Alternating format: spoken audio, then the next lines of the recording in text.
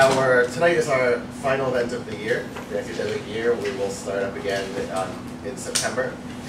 Um, and our guest tonight is a longtime friend of the program, uh, Michael Moran, who uh, has a tremendous uh, resume. I'll point out some highlights. Perhaps the most important highlight is that he is a, a, a once and hopefully future faculty member in the program, um, having taught writing on international affairs here for 10 years. And we haven't had him um, give a public talk here because we don't actually, as a kind of policy, we don't have our faculty members give public talks here. Um, so we're able to, unless what will hopefully be a fairly brief window between having left and coming back, um, actually have him give a talk, which is uh, uh, great for those of us like me who don't actually get to hear him speak on a regular basis in class or anything like that. Um, when Mike started uh, teaching at BGIA, was a correspondent for MSNBC, and I remember students would, uh, uh, I've been doing this for 11 years, believe it or not, it's some time ago, and students would come into the office and say, Mike Moran just emailed that he's going to be on TV in three minutes. Can we put on the TV?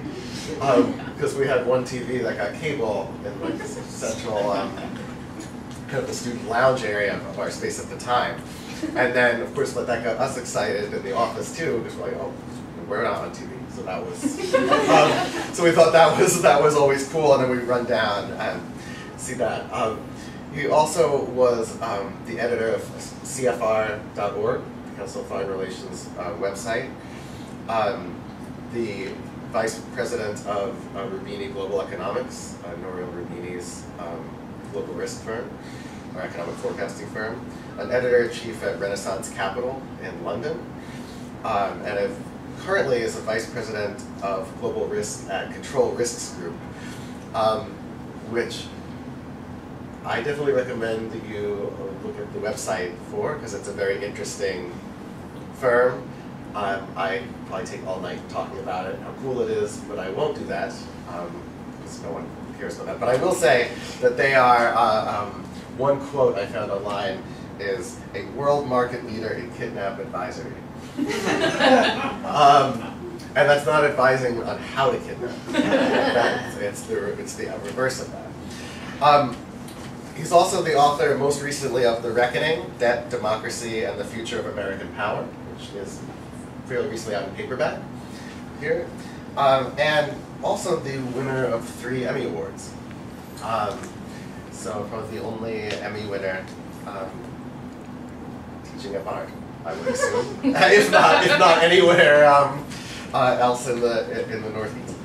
Um, I should also say, uh, just to make it even more about the program, um, as well, um, Mike has taken interns from us at all of these different places uh, and has hired a number of um, former students to work for him at the Council on Foreign Relations, um, at Control Risks right now, um, at Roubini, um, and uh, and as well the Overseas Press Club. Um, and it is great to have him back in the United States after some time in the United Kingdom. Um, and here at BGIA, uh, which is, uh, I think, about 60 or 70 yards from his current office. Um, and his talk is thin-skinned and short-sighted um, America's foreign policy drift. Um, and he'll talk for 25 minutes or so, and I don't bang on time unless things have gone awry, and then we'll uh, turn over for Q&A. Um, with that, I'll turn it over to Mike. Thank you, Johnny. This is so familiar. the people in this room put up with me for literally hours. Uh, so I see some familiar faces here. Uh, I'd like to thank Johnny, uh, and I'd like to thank Bard in particular for this program. Uh, I used to, when I was a kid, I lived in the Jer Jersey burbs.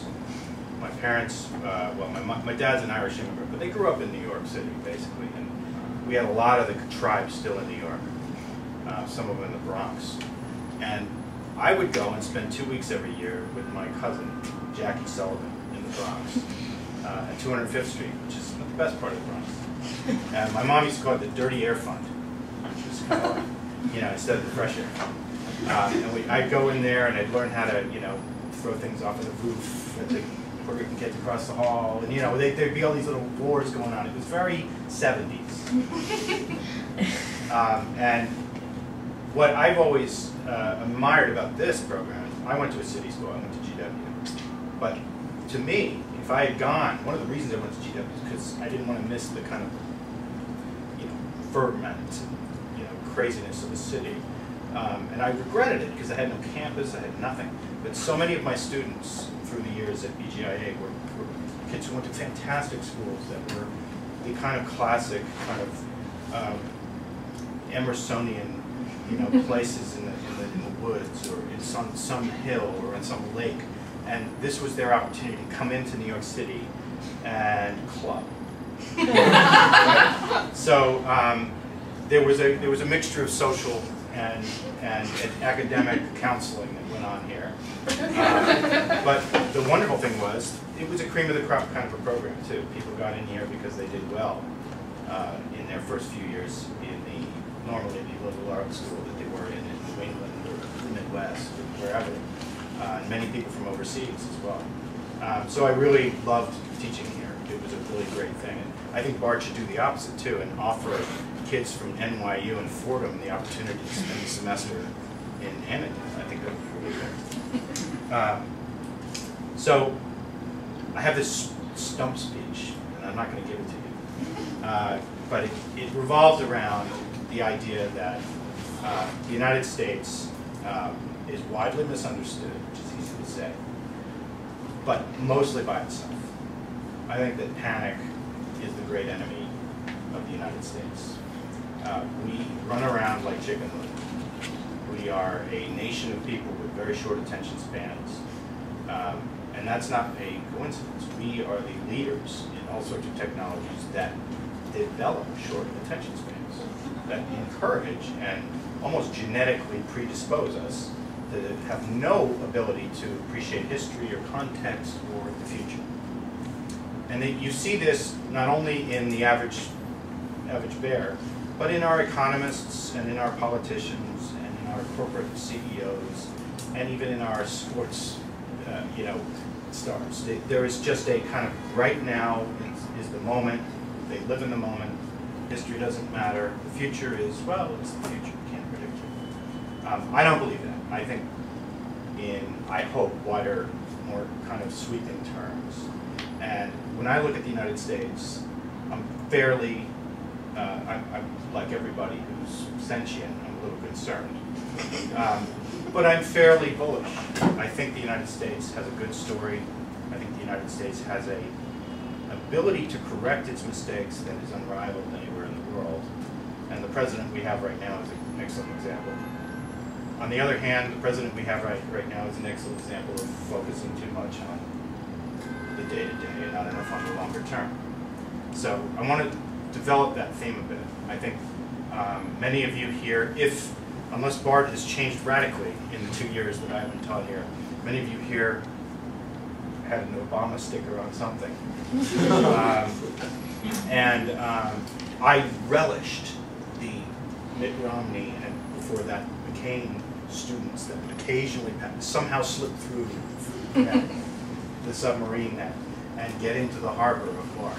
And, and it was wonderful because you had a counterpoint in the, in the room. And there needs to be a counterpoint. And if you don't believe that, go look at South Africa. Look at what's happened now that Nelson, Nelson Mandela is not there to provide the, voice of reason. That's a disaster area. South Africa is a one-party state. So is Russia. Those are supposedly uh, places that we're worried about in the context of the BRICS. I think that's silly. I think those are places that have deep problems, much deeper than the United States. Expand on that a little bit. So back to my dad for a second. My dad's an Irish immigrant, came over here. Long story short, parents were already here. He was raised by his, uh, his aunt and uncle in an awful mud hut, literally, with a thatch roof in Western Ireland. Until he was about seven years old. And then suddenly, miraculously, money appeared at my uncle's door to send the little Eddie Miranda back on a Cunard steamer to America. And so they took him down, they gave him to a, a you know, Cunard stewardess, and he went. He had been raised till that moment to think his parents were his aunt and uncle, because they never knew if the money would come. And so they told him, don't worry, Eddie, you're just going to America to get a bicycle and you'll come right back. And so he went and he bounded down the gangplank through immigration, and there was my grandmother, his mother, who said, Sonny boy, and hugged him. This is the family lore. Apparently pushed her away. She said, I don't know who you are. I want my bicycle. I'm going back to Ireland. and imagine the trauma of learning that that wasn't true. And into schools in Morningside Heights, my dad went. Uh, he did very well for himself. He was the middleweight champion of the Marine Corps in uh, Korea. He was, then he went to night school. It- it- the, inability to top him never ends. Went to night school, became a corporate CEO. It's just crazy. Um, but through it all, he had this kind of America in his mind that I could never see because I'm first generation, but uh, you know I had some privilege. My dad had made it, um, but I try to keep that in my mind too, because it's very easy, particularly if you've you've been someone with some means, to forget that someone like my father could show up, dump on the gang off the gangplank of a Cunard steamer and end up where he is, uh, or where he was. He basically lost, lost it, he killed himself. But he did a great job in his life. He raised a family. He, he sees an America that I have to keep in my in my vision. Now, my book's called The Reckoning, right? so clearly, I have another mirror that I look at. Um, and I am concerned about the United States. And one of the reasons is because, as I said, we have this inability to appreciate the things that our very strangely unregulated and oddly incentivized society produce. It's not going to ever be utopia because it's not designed to be. The founding fathers talked about the pursuit of happiness, and that is a wild concept. Any, that doesn't exist in any constitution on the planet, particularly the classic European constitutions, which were very, very legalistic and very, very uh, constraining of what people could do as opposed to what government could do. So we always have to approach where we are and the plight, I think of it, as of America, as something that grows out of this interesting root, which is that our government has the constraints, not us. This is not true of most countries. Usually it's the people who are told what rights they have. I know you've all learned this, like U.S. history in junior year in high school, but the people are assigned rights, and the government has everything else. Um, in the United States, and fracking is a great example, the people own the land on which people frack, and they make a million dollars, and the government has to tax that to make any revenue from it. In every other country in the world, fracking is a very difficult economic proposition because the government owns everything underneath the land. The resource underneath the land is government property. There's very few countries in the world that do it the way we do, where to the core of the planet, in some bizarrely, you know, contracting triangle, I own, because I own this little plot in Nutley, New Jersey, a frackable piece of land who knows, could make me a million. It's more likely to get me whacked by somebody from The Sopranos. So, the thinking that we have to, the, the kind of approach we have to have to the United States when we look at the world is, this is unusual. This is not a normal country. This is not a country motivated by the usual, uh, the usual incentives. Um, add to that the fact that we are still really an enormously dominant power in the world, which has the luxury to talk in large rhetorical terms about the, the common good, but is increasingly acting more like a common country and pursuing its own interests. Um, and it's a very complicated system. So that's my little preamble before I start criticizing what we do. Um, I want to do a moment on a bit of a counterintuitive argument. Um, there's a lot of talk about the BRICS. Um, a lot of that's beginning to wear thin. You're seeing uh, much of the, the kind of almost manic concern about the rise of the rest, as Fareed Zakaria calls it, um, begin to uh, tarnish. Um, I think that uh, just as that was overdone, the backlash against it will be overdone because we have this media that has this incredible ability to focus on this. Okay, Brazil is growing at 1.6 percent. Therefore, it will never attain great power status. Or Russia is tripping over itself and being wild. Now, Russia, I have a different take on. It. Russia shouldn't have been BRIC in the first place. China's growth has moderated. India's growth has moderated. All of these things have happened for reasons that have nothing to do with the grand, know, kind of political argument in the United States over whether there are countries that are rising and falling and what we should do about them. These are geopolitical and geoeconomic issues that are causing the rise and fall of growth rates. And we shouldn't fetishize GDP growth. Um, it's an important thing to understand that GDP growth was developed, the double concept the, the, the statistic was developed during the Depression to try to understand what was happening to countries that were contracting suddenly. GDP, the, the concept of GDP does not measure the well-being, the power, the future potential of a country. It only measures output, and in a very kind of 1970s kind of way. It doesn't very well deal with black markets, for instance. Many countries have very large black markets that are should be significant parts of their GDP and are not. In our country, for instance, charity doesn't get measured well. Um, there are all sorts of transfers from government to, to uh, corporations that don't get factored properly. So GDP is a very raw measure. So to worry so much that, you know, the BRICS are growing at a certain rate or the United States is not growing at a certain rate, to worry too much about that is to get lost in the. Um, what I would like to point out, though, is that the United States, as I said, um, has a good news story. The good news is not about our politics. It's not about whether immigration reform is being debated in a rational way. It's not about whether the outcome of the next midterm election will satisfy anybody in this room. It's not about whether Obama's been a good president or a disappointment or whether he was even born in the United States. Let's face it. The good news story in the United States is based on the fact that we are a disruptive, innovative country. And we continue to be the only country that can take a disruptive innovation and bring it to market. I know this is not the terminology you normally hear at BGIA. I hope you're getting more of it. Bring to market is a very key part of making something happen. You can have great ideas, but if you can't bring them to market, cannot take the idea of, hey, what if we did 156 characters? And then people could sign up, and we, you can't take Twitter and then bring it to market, then Twitter is nothing. It never exists. It's just an idea someone had in a dorm room.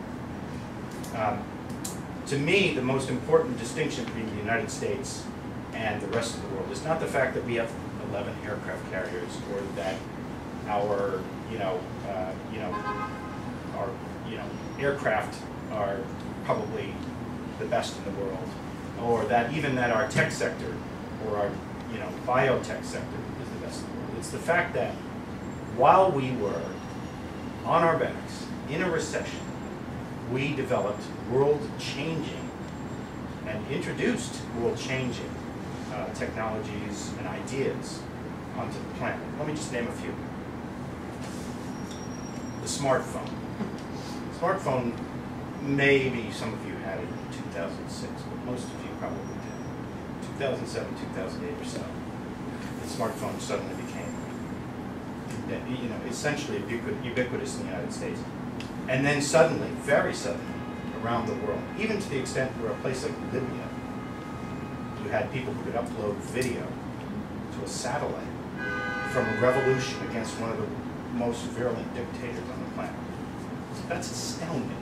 That's an astounding disruptive innovation. Twitter, Facebook, they're the vehicles. Really, actually, the smartphone should get the credit for, for those revolutions, not Twitter. Twitter is useful, but Twitter is just a vehicle by which people took this piece of hardware, amazing piece of hardware, and took photos and videos of something happening, and it changed the world. No longer did you have to wait for CNN to get in with a visa, right? So only 10 years earlier, it was only a brave news organization or a cajoling news organization would we get in. Um, hydraulic fracturing, okay? You probably all hated it. Fracking is changing the planet in a variety of ways. I, I, I will give you that it may not all be good. But one of the things that is good about it is that there are energy supplying countries that have even less interest in climate change, believe it or not, um, who will be severely damaged by fraction, by hydraulic fracking. Um, that technology has changed the, the energy balance of power in a very important way. It has put in the Western, uh, in the hands of the West, the ability to make important decisions about the future energy infrastructure of the world. Natural gas is an enormous step away from coal and from oil, if you want to look at it in climate change uh, terms. In economic terms, it's a, it- it's a game changer. It destroys the Russian, uh, essentially, if you look at Russia as a business, it destroys the Russian business model, which is based on gas that's priced high. Gas will not be priced high. Gas is very slowly coming down around the world. In the United States, it's so cheap that the Mexicans can't even afford to sell gas anymore. Um, But ultimately, this is a good thing. This gives the United States and other powers the ability to enforce reasonable regulations on the energy industry, which will if- if- essentially block um, powers that would use energy blackmail us. Um, That's a very important thing. That's been a, since the early 1970s, that's been a major burden of U.S. foreign policy. Uh, It's been a very important check on the United States um, from the powers that essentially regard us as a, an evil empire, for lack of a better term. Um, It frees us from that problem. The other things that I would uh, name here, uh, 3D manufacturing, I don't know how much you know about that, it's an unbelievable step forward. Uh, It is a a scientific, you know, leap to, that you could create a jet turbine uh, rather than, it- it's a, it's a painstaking uh, thing to create the, the little blades that go on a jet turbine. 3D manufacturing allows that to be done in an enormously uh, more efficient way and also in a more environmentally friendly way. Um, And I would add to that some innovation called REITs. Does anybody know what a REIT is? Just curious. Okay. You know what a REIT is?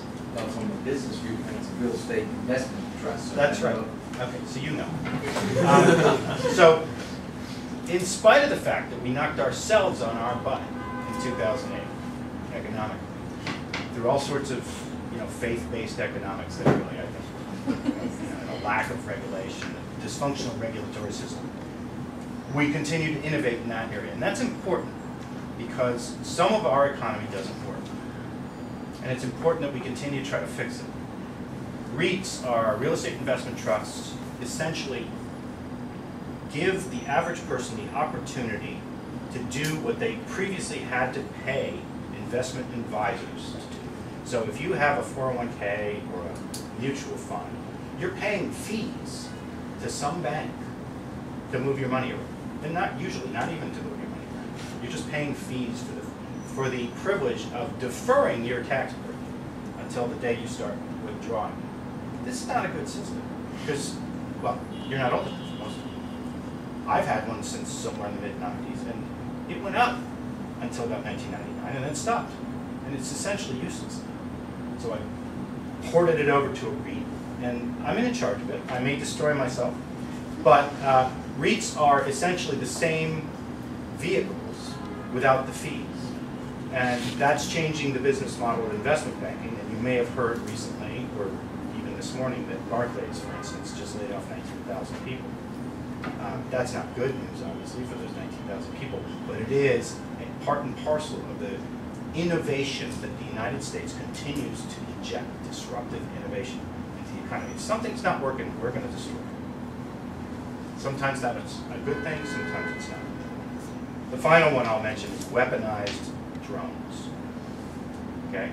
As I said, if something's not working, we're gonna destroy it. Weaponized drones, astounding leap forward in weapons technology. Morality, I think hasn't caught up with it. The moral conversation hasn't been had. I've, I've spoken to Force pilots who feel as though, and this is an interesting uh, moral argument, by not putting themselves at risk of death, it delegitimizes the process of dropping a bomb or shooting a missile at, at a target. It's a, probably an argument that's just going to disappear into some hazy past, and they'll say, "Oh, wasn't that cute?" It's kind of chivalry, I guess. Um, but there are other arguments too, and they are made often by the people who sit in San Diego and, and Omaha and other places and run these things like Xbox machines, uh, who have suffered real dilemmas internally as to what they're doing on a daily basis versus the act of getting up afterwards, getting in their car, and, you know, going to work out in the gym. Um, so I think there's a moral debate that's going to be gone, going on there, but again, the United States is the innovator in that sector. None of this means we're the best, or that God said we're going to be the best forever, or that we'll be the largest, and that China's growth will ebb and actually never overtake us. I think all that's nonsense, and it's all unimportant. If we continue to be the innovators and the ones who drive uh, technology, drive medical science, who drive military affairs to, to the extent to which we can be a stabilizing force in the world and not allow vacuums to open. That's good. And I see interesting and good um, examples of that and evidence that this is true. One final thing, and I think this is the slam dunk for the United States, and then I want to open it up to questions, because I could go on. Um, Our, the enormous secret weapon of the United States is demographics. Of our rivals and allies and all the major economies of the world, um, we are the only advanced economy, and certainly the only superpower, who's growing at a healthy rate in terms of our demography. Um, the uh, UNDP recently updated its numbers for the next 2050, and these are notoriously squirrely numbers. They're, they're roughly, eh, you have to base thinking on something. Um, UNDP growth numbers for the United States between now and 2050, with some caveats, are 28%. That's really good. That puts us in the same class as Mexico and Turkey and India. Now, India growing at 28% is actually a problem because India can't employ itself and it's skewed its demographic with selective abortions. There's going to be armies of young Indian men with no female cohort, which, as you know, if you've ever been to Hoboken on a Saturday, is not a good thing. This is a dangerous concept. Um, but it goes, it gets worse. I mean, these are the these are the vaunted BRICS that are going to overtake the United States. Um, Japan will, according to UNDP, will shrink by 15%, uh, which the worker to pensioner ratio is the key fact here. The number of people working versus the number of people versus the number of people who have gone beyond the workforce are now depending on the state for support uh, will soar in Japan. In Russia, Russia's population will sink by 16%, Germany's by 13, China's will only grow by 2, 2%. That's the one-child policy. Um, and that's going to be, and it's already hampering China's Chinese growth. Because what's happening is, when you have, when you're growing at 9 and 10% in China, you've got an unlimited pool of people who will work under any condition for any price. as you see in the headlines now, Chinese workers are demanding rights. They're demanding environmental safety. They're demanding pay raises. Um, China's government is reacting with some uh, accommodation. They're also reacting by vilifying foreign countries and trying to push that off on only the foreign countries. You should raise your wages. You, you know, and, and essentially saying, oh, we, we detect corruption in your dealings with other Chinese country companies, as if there's no corruption between the state-owned companies. Um, That's a political game that can only go so far. The fact is, China is running up against a demographic problem, and it's being undercut by the Vietnamese, by the Bangladeshis, by the Thai, by the, uh, to some extent, in the higher end, the South Koreans and, and, uh, and Malaysian economies, who can now provide a uh, viable option for a big company that wants to offshore and put their production in Asia. Uh, China is not necessarily the destination for people who are deciding to put a, know, mid-level shoe factory or a, a kind of a mid-level um, manufacturing concern into uh, Asia and then exporting abroad. The other problem they're having, of course, is, is true of all these countries. The price of gas, essentially the price of transport, has about tripled since the great explosion of offshoring in the United States in the early part of this century. So to get something back from China is very expensive. Um, So that has actually helped uh, lead to a very small return of manufacturing in the United States. Um, Combined though with the low gas prices that are happening because of frac- fracking, there's a real uh, chance the United States will create manufacturing jobs in the next 15 to 20 years. That's unbelievable. And when I was a kid, Bethlehem Steel and U.S. Steel was still, you know, places we knew about because we went out skiing in the Poconos and you go by those places and it, it was like gates of hell. But it, but it, those were middle class jobs in the United States. Those were those were guys who got out of high school and their father said, "Don't waste your time in college. There's a union job there," and they go right into the mills. And it's hard work, but it was well paid and it was steady. And he worked for 20, 25 years, retired on an, a defined pension, and they bought a place in Jersey Shore. And that's a Billy Joel song. Um, But it's true, that disappeared. I mean, in the course of five to seven years, disappeared from the US landscape. That won't return because manufacturing today is a, not a, as labor intensive as it was even in the seventies, and certainly not in the era of World War II.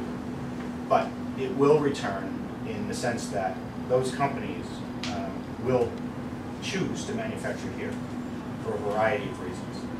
Um, let me talk one, one more good news story here, and then I'll open to questions. The other thing I, I, I worry about is that our politics is filled with airbags, and you all know that. And they're on both sides of the aisle, kid yourself.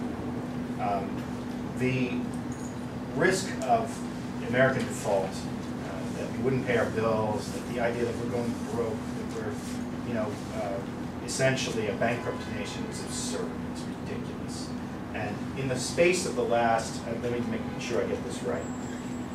The last three years, okay, the, the Congressional Budget Office, which is relatively nonpartisan, went from projecting a deficit in 2038 of 7% to a deficit in 2038 of 1.7%. That's, that would be the best deficit we've had in decades. Our deficit last year, in fact, in fact, was 1.7. It's going to go up again. But the fact is, projections and statistics are very easy to manipulate. You have to make assumptions about growth. You have to make assumptions about tax rates, about tax revenues, about the willingness of people to pay tax. All of these things are really malleable, but mostly it's growth.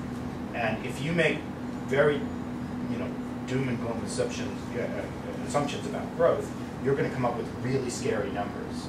And depending on which district you're running in, um, that can be really good. Um, scaring people is one of the things that our politics does really well. Um, we're not as scary as we used to be overseas, apparently. Um, But we are very scary uh, in congressional districts, in, in individual congressional districts. If you look at what polls say today, Americans believe that China has already overtaken us, that not only are they a bigger economy, but they're richer people. It's astounding that there are so many billionaires in China that you wouldn't believe it. Uh, You know, it's, the, the, this I blame not only on the scaremongering political class, but on the media, which is atomized uh, since I jumped in, um, and has really failed to educate. Um, There was a time when that was actually, you know, it's laughed out of the newsroom now, but there was actually this concept of public service that once existed in media. And um, they often say you don't miss something until you don't have it anymore. Um, But I think the country uh, is suffering very much from a, the lack of this fire, this fireside chat we used to have every night with one of three, unfortunately, guys, right? Uh, It was one of the three network anchors, and the vast majority of the country at some point tuned in and heard a strangely similar uh, recounting of the day from these kind of well-coiffed, you know, tanned white guys. Um, And everybody at the time eventually got tired of that and decided this was corrupt. It must be, it must be awful. It must be, you know, synchronized. There must be some conspiracy.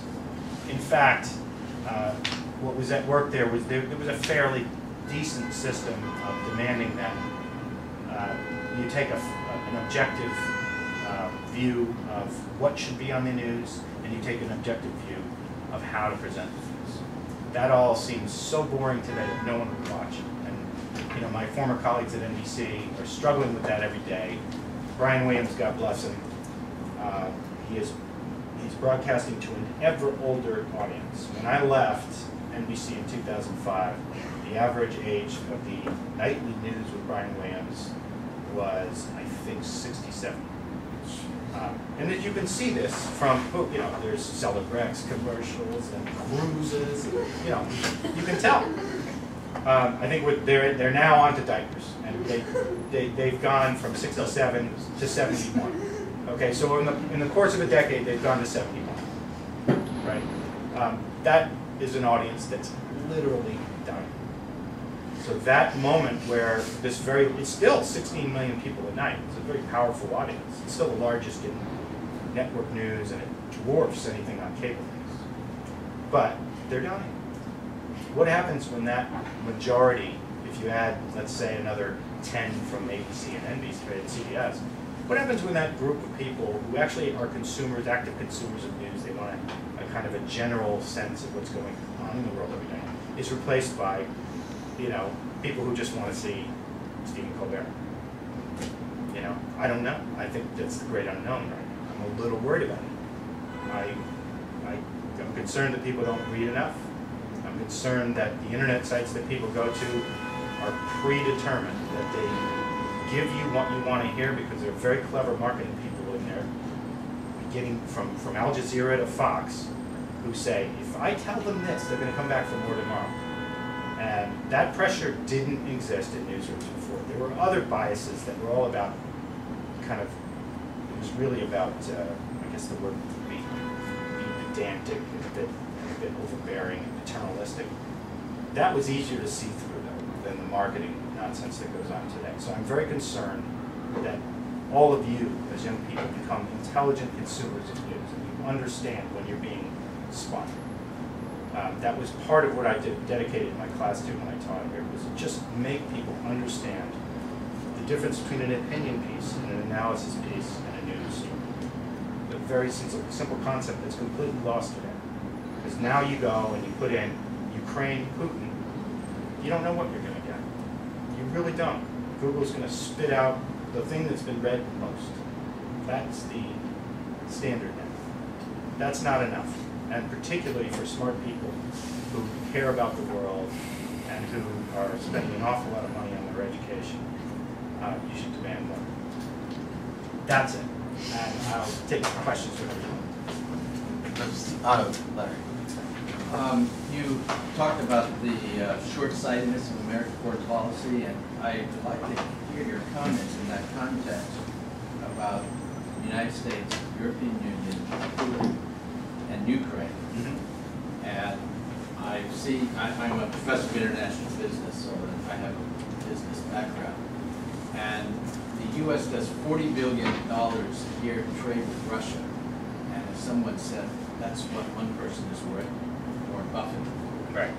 Whereas Germany does five hundred billion of trade and has deep uh, connections with Russia. And so my question is, why is the U.S. and, uh, you know, the U.S. White House and State Department and our head of intelligence so actively involved in Ukraine when really it's essentially up to Merkel? Well, okay, so, And so my- the context of my question is that, could you give me a forecast ten years from now, how Ukraine will play out? all right, slightly different at the end there, but, okay, so, mea culpa. I worked at Radio Free Europe, Radio Liberty when the wall came down. I know this part of the world. I know that the Balts, I- in fact, I used to sit next to the current president of Estonia, who was absolutely crazy. Um, But brilliant. Um, They do not trust the Europeans. They, they look at Europe as having, you know, fed them to the wolves multiple times through history, the Poles in particular, the Czechs as well.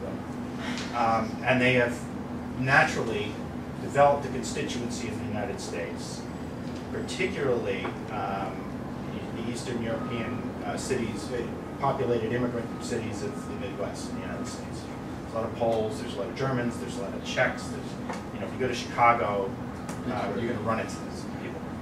There is a, now, there's an aging lobby in the United States, but um, the United States as the, you know, kind of uh, mediator in, in the sense of, of its self-created world order, um, is offended by what is a violation by Russia of a 1994 agreement not to mess with Ukraine's borders. I think we've been rather, actually, rather, you know, I guess the word would be cowardly about that. The Russians violated uh, an agreement they made in 1994 in exchange for Ukraine not pursuing nuclear weapons and delivering back those Soviet nuclear weapons based on its territory. Russians agreed not to play with their borders. And so Putin, uh, not surprising to me, but Putin decided to violate that. We did nothing. Um, his reading of that is that I knew he would do nothing because he did nothing in Syria. And I, in fact, had to bail his ass out. And in fact, he did. It was Putin that saved Obama from looking like a fool by ginning up a phony chemical weapons uh, arms. So I think President Obama has the right idea about the limits of American power, but the wrong idea about how to project it. I think he misunderstands the value of saying things you will never do. But he, he also says things, you have to say things that you know will never happen. And, and insist that you'll do them if they do. But you don't say things that you know might happen if you're not willing to do them. And that's the great mistake he made in Syria when he created this, you know, ultimatum about chemical weapons and Assad just crossed it. Because Assad kind of knew, what are you gonna do? Um, to get to your second party, so I think we've been a bit, um, I've been, we've been pushover for the Russians. Um, Ukraine in ten years, no one is gonna look back and say, what a masterstroke. Putin has Crimea. You know, Crimea is a dump. Without an economy and with a, a thuggish population uh, of people who are kind of, they feel separated from the motherland uh, in the way, in quite the way that people in Danzig and people in the Sudetenland and in other parts of the former Austro-Hungarian Empire that spoke German felt separated from their motherlands in the 30s. He's taking advantage of a very, uh, you know, specious, uh, you know, oddity, which is that the empire he loved collapsed. It when it collapsed, it had colonized, essentially, areas of other parts of the, of the world. And those little islands of Russians feel left out. Um, the best way to deal with that would be to negotiate with the governments involved for Russian language schools or for special minority status or whatever. Instead, he's now using it as a way to claim back territory. I mean, he's made no secret of the fact that he thinks the collapse of the Soviet Union was the greatest tragedy of the 20th century. Anybody who says that is clearly not living on the same planet that I am. Um, I think in 10 years, Ukraine will be um, Finland, a gigantic poor. When I say Finland, not the Finland you know and love now that creates Nokia phones. Uh, it's the Finland of the Cold War, which is unable to move in either direction um, for fear of alienating one or another of its protectors or threats. Um, and I don't believe it, Ukraine has the native capability to break out of that. They, their, their politics is more dysfunctional than any place in Europe, save perhaps Russia itself. And they don't have the natural resources to, to grow their way out of it. So I think there's, you know, unless Putin is history quickly from something that happens within Russia, I think Ukraine is in a very difficult place and it's not going to be rescued by NATO. I find it ironic, you did not talk about the European Union or Germany in your answer. You talked about Russia and the US. I'll take that up. If Germany's, Germany is not a, Germany is not a normal country. Germany is a country that um, has, if you look at Germany and Japan, there's very two interesting, interesting historical developments there. Japan has decided to deny its past and yet shelter under the uh, American security umbrella to save money effectively and to not piss off its customers and, and clients in Asia. Germany has been effusively apologetic about its past and yet has chosen to, to uh, also shelter in the American security umbrella, mostly because it's good business. Um, the Germans make a lot of money in their trade with Russia. The Europeans in general, the Italians, the Spanish, the Czechs, make a lot of money in Russia. Increasingly, that comes with an enormous cost. Societe Generale, for instance, big French bank, owns, I think, 67% or something of uh, Rosneft, a big Russian oil firm. That's a disastrous risk for that company. Um, they may they may have made a lot of money over the years, but it could be suddenly uh, halted tomorrow by a simple skirmish on the, on the Baltic border between a Russian and NATO aircraft. Um, so Russian, the, the risks of doing business in Russia have risen enormously. Germany's not going to back out right away, but um, remember, we encouraged the Germans to be the bridge to the Russian economy in the early part of the 1990s when we were kind of prescribing this kind of shock therapy for the Russian economy. Um, the fact is, the Russian economy never accepted it. It was it was a situation where the assets of the former Soviet state were doled out to people who were connected in high places to the Soviet Union, and then went out and did business with not just the Germans, but with Exxon and with Target and with Ford. The biggest shock I had last year when I was in Moscow was that every every kind of young Russian kid is driving a Chevy pickup. Seems to be the big rage in, in Moscow these days. So um, you know, it's not just the Germans. Raise, Another, I, so you were talking about statistics, a statistic I heard last night at an event I was doing for my internship, um, which is with a global education organization, um, was that the racial composition of our country is going to radically even out in the coming decades, and we're going to have substantially less minor minorities. And I was wondering what you were thinking, what you thought about, because one of the things you didn't mention was, was the kind of race conversation in relation to our economic growth. I think, um, you know, my sense of this is that um, if you look across decades, um,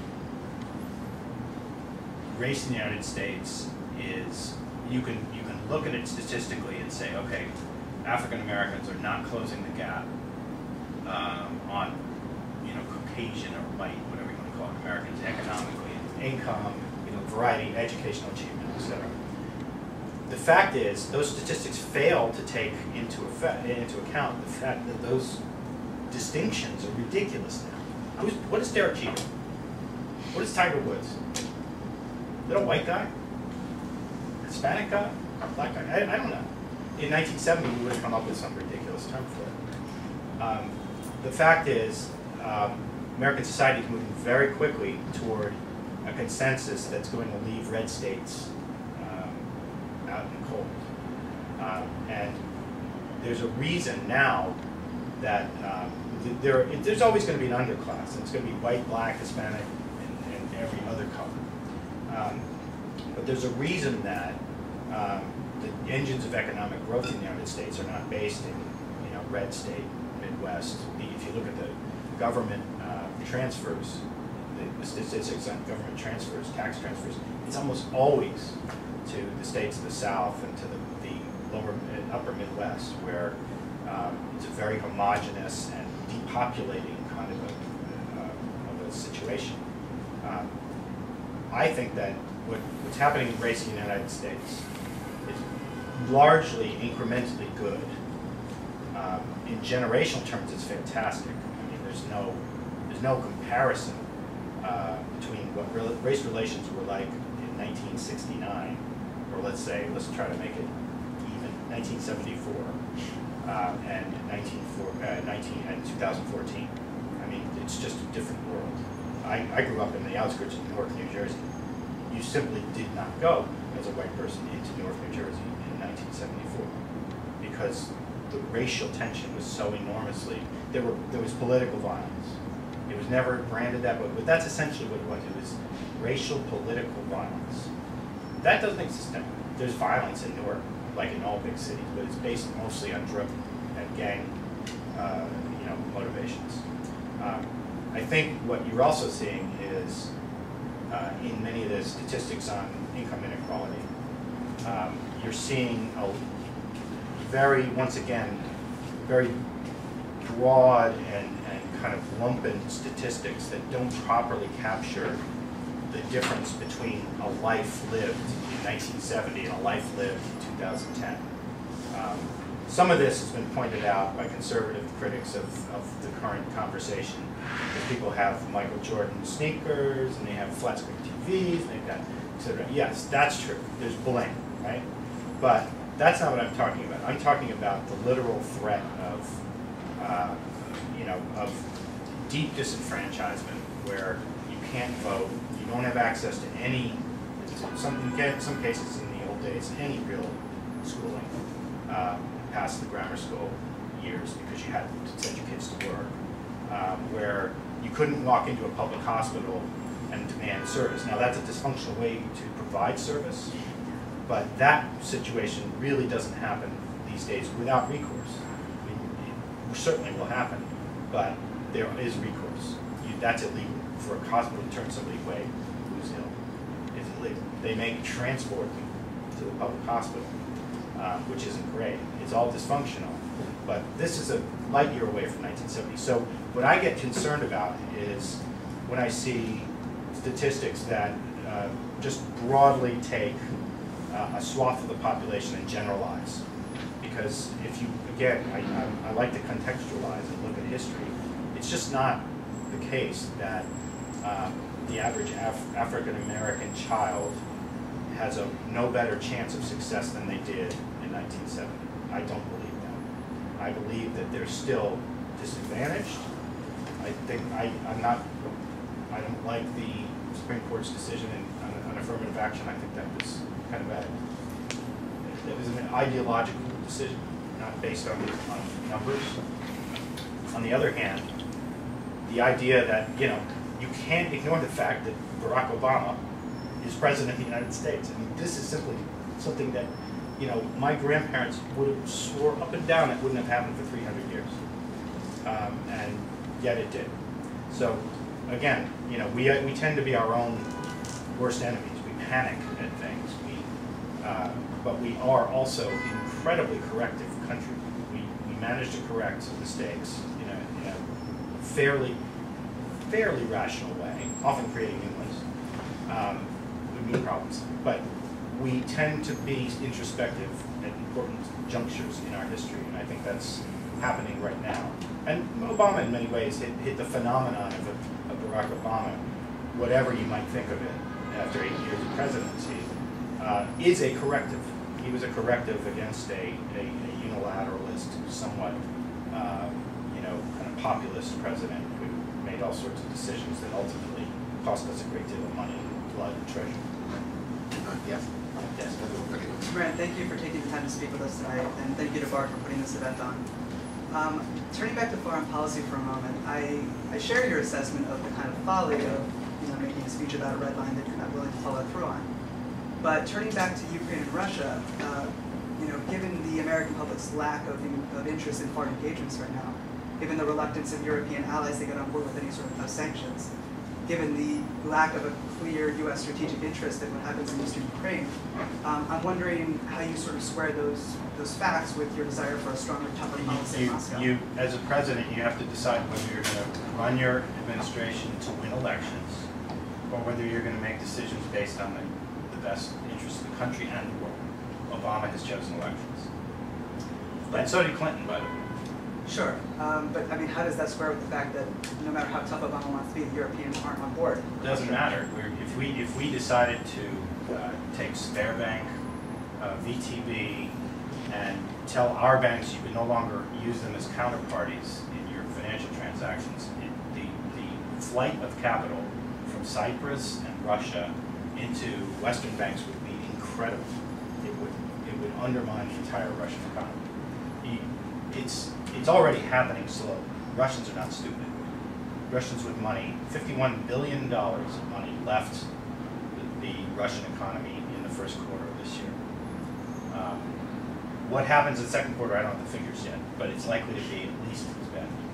Um, most of that, because of the centralization of power and, and wealth in Russia, are people who have a very direct both stake in, in the survival of Putin, but also a very, very careful, uh, carefully tuned antenna to what's going on in the Kremlin. Um, and the fact that they're moving money out, the fact that the Russian government can't stop it, uh, is interesting. And this is just with little pats on the hand from the West so far. I mean, if the, if the US and the UK, we're the only ones that matter in the financial system.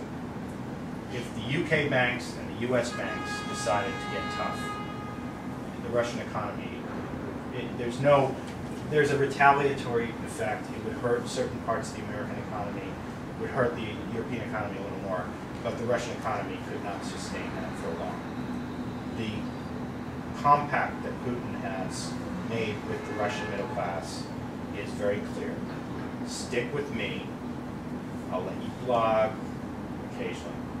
Um, I will keep growth going along, and if you're close to us, you will even profit. You won't be harassed by my tax police.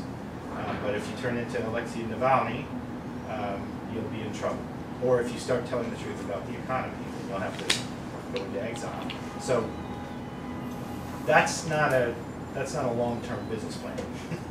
that's a problem, and and I think Putin. Uh, I think actually the Ukraine move was more akin to what the, the Argentines did when they took the Falklands in 1982. There's not been a lot of talk about the analogy there, but I think Putin's the the model that he set up for Russia, which is a kind of klepto energy state, is running out. In part because the U.S. is undermining it with fracking. In part because Russia has no real friends in the world. They've, they've got people who have to be their friends. Beyond that, there really aren't, even the, even those who really kind of agree that the Americans are kind of arrogant, we'd like to see them taken down a notch, are not particularly willing to, to live in a world that's instead dominated by Vladimir Putin. So it's not exactly a great brand, right? Um, they, I have a friend who's a, a, a British football fanatic. Team in London, some of you may have heard of, called Millwall. Millwall's like the, the bane of British football. They're, they're brutal, you know, kind of awful fans who beat each other during games. You know, it's awful. And they, they have this chant, you don't like us, we don't care. He's a Russian affairs Spanish specialist. He says, Russia is Millwall. You don't like us, we don't care. And that, that's their chant. And I think that's true. As long as things are turning over for the elites, as long as they are able to project a uh, sense of great power, um, in, in spite of the fact that I think they're, it's a country in decline, both in power and economics and, and certainly in in moral standing. Um, I think, you know, as long as they can project something different, I think they feel good about it. But that's a short-term Uh, Hansa. Yes. Um, so you talk a lot, a lot about disruptive innovation, and I think the foundation of that is a lot of people doing technology and working in that field. So are you concerned with um, the prospects of like STEM majors in uh, higher education within the United States, like science, technology, engineering, Yes. math? Yes, and uh, I mean, I mean, half of the problem is our backwards immigration uh, approach to immigration, which I don't think will survive the next five years. I think Okay. um, in a in a, time like this, when when prospective um, candidates for the Republican nomination are starting to talk about immigration reform, then you know the consensus that the, the the middle can't hold. The middle being a reasonable gridlock over immigration.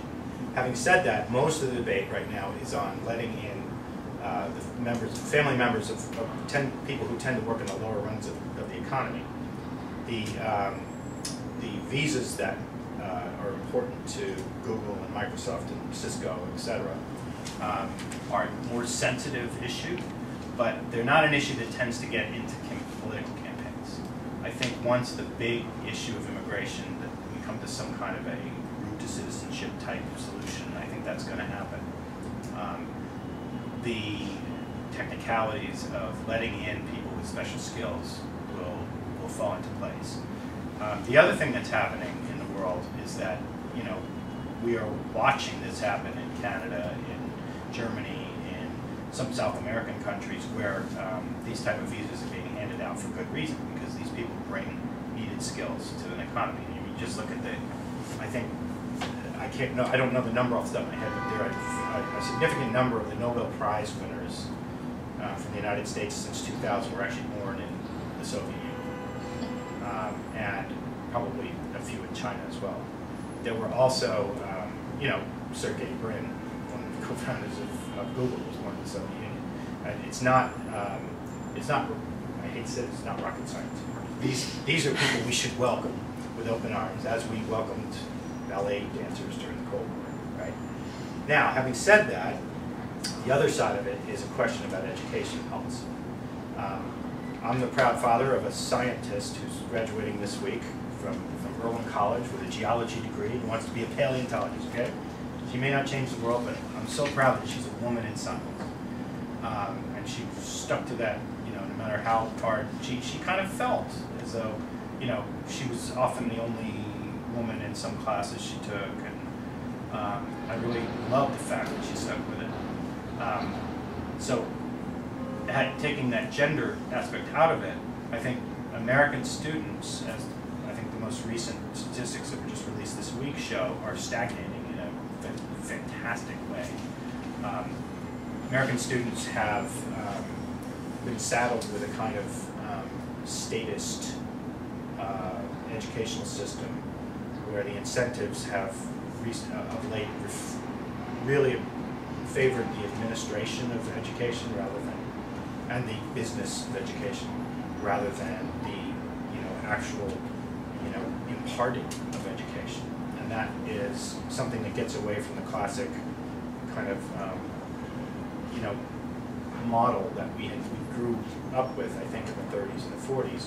But having said that, the United States was the first country to adopt universal public education. This, I think, is a growing pain, it's a, and it's a multi-generational growing pain. And it's a result of the fact that we don't send kids at age 16 into technical routes. I myself am split about that. I lived in Germany and saw that if you got to age 16 and you had not excelled in the more academic side of your studies, you go to a Fachschule as opposed to a Hochschule. Hochschule is high school, Fachschule is a kind of technical school. I would have ended up in a, in a, in a Hochschule, at a Fachschule because I was a bad kid until I was about eight, eighth, ninth grade, and then I kind of realized, oh my God, I don't want to work in a gas station.